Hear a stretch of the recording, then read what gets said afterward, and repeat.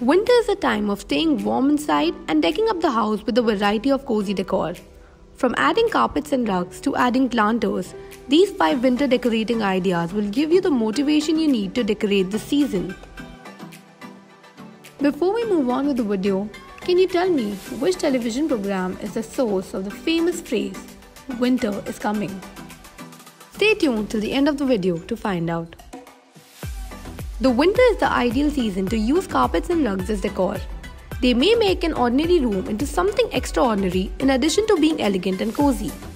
Find the carpet or rug that best meets your needs from the various varieties that are offered. Lit candles placed on candle holders evidently brighten up the space. Especially during winters, candle holders can come in handy when people want to create a warm and cozy space for themselves. Winter is a period when things tend to seem a little gloomy and dark, and it's also known to cause seasonal depression. Being in nature and around plants reduces stress and fights depression and anxiety. Plants not only assist you with that, but also gives your space a new life. You can choose from a variety of planters for your plants such as ceramic, copper or brass. A warm, brilliant light from wooden or Victorian style table lamps next to your bed or on top of the console table may make your entire space look nice, especially during winter season.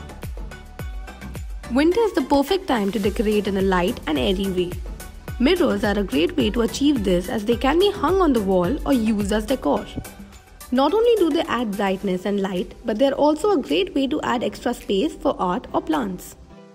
And to answer the question, the phrase winter is coming is from the infamous show Game of Thrones. You can find links to all the products mentioned in the video in the description down below. We really hope you enjoyed this video. And if you did, hit the like button and subscribe to our channel for more.